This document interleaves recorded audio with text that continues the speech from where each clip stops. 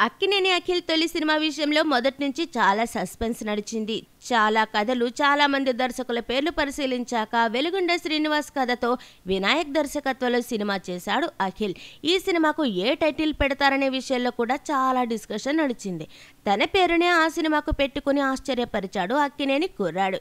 ఆ సినిమా ఎలాంటి ఫలితాన్నిచ్చిందో తెలిసిందే. దీని తర్వాత తన రెండో సినిమా విషయంలోనూ అఖిల్ పెద్ద సస్పెన్స్ డ్రామా నడిపించాడు. ఎట్టకేలకు విక్రమ్ కుమార్ దర్శకత్వంలో తన కొత్త సినిమాను ఏప్రిల్ ఒకటిన మొదలు పెట్టడానికి రంగం సిద్ధం చేసుకుంటున్నాడు. తన తొలి సినిమా తరహాలో సినిమా పూర్తయ్యే దశలో టైటిల్ ఫిక్స్ చేయాలనుకోవట్లేదు అఖిల్. రెగ్యులర్ షూటింగ్ మొదలు కావడానికి ముందే దీనికి టైటిల్ కన్ఫర్మ్ చేసేస్తున్నట్లు సమాచారం. విక్రమ్ కుమార్ సినిమాలన్నీ చాలా వైవిధ్యంగా ఉంటాయి. అలాగే టైటిల్ కూడా. అఖిల్ సినిమా కూడా ఇందుకు మినహాయింపేమీ కాదు. ఈ చిత్రానికి జున్ను అనే టైటిల్ అనుకుంటున్నట్లు సమాచారం. ఈ టైటిల్ను ఆల్రెడీ రిజిస్టర్ కూడా చేయించారట. మరి ఈ జున్ను అనే టైటిల్ ఏంటో దీనికి కథకు ఏం సంబంధమో తెలియట్లేదు. విక్రమ్ టైటిల్ వెనుక ఏదో ఒక మర్మం లేకుండా ఉండదు. కాబట్టి జున్ను పేరు పెట్టాలనుకోవడం వెనుక కూడా ఒక కథ ఏదో ఉంటుంది. ఆ కథ ఏంటో చూద్దాం మరి.